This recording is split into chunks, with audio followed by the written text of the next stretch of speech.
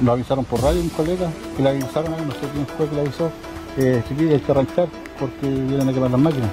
Y dijeron eso y como ya está un momento que podía pasar eso, arrancamos.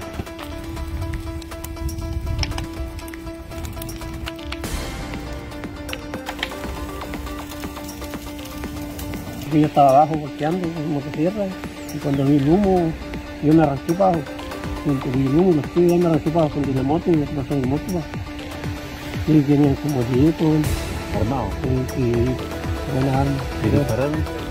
Harto tiro, harto. Harto tiro.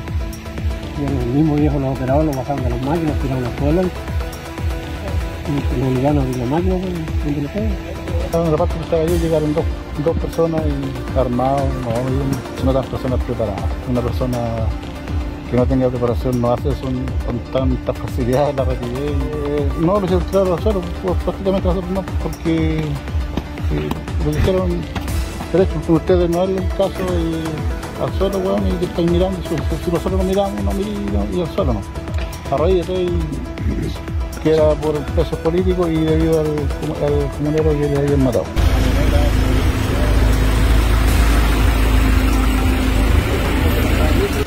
Bueno, a eso de las 9 de la mañana recibimos comunicado de emergencia que manifestaba que en este predio, ubicado en el kilómetro 5 de la ruta P520, había individuos encapuchados con armas de fuego, amedrentando a los trabajadores, lo que posteriormente efectuaron un atentado incendiario a maquinaria y vehículos de, tanto de personas que transitaban por la ruta como eh, maquinaria que se encontraba en el interior del predio.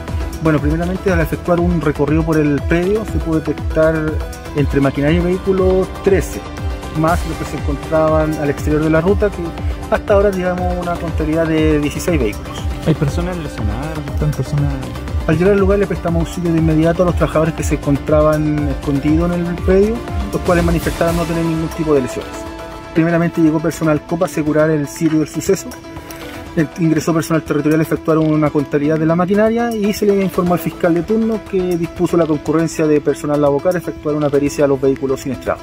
se encontró alusivo, eh, panfleto rayado, alusivo a los denominados, entre comillas, presos políticos mapuches. Desde el gobierno queremos reiterar que lo hemos dicho en innumerables ocasiones, en nuestro país no existen presos políticos, lo que sí existen personas que están siendo condenadas o procesadas en calidad de imputados por delitos graves, desde tortura, homicidio, robo con intimidación, eh, delito de incendio, entre otros, que terminan generando gran conmoción social a los habitantes de nuestras comunas, principalmente del Cono Sur.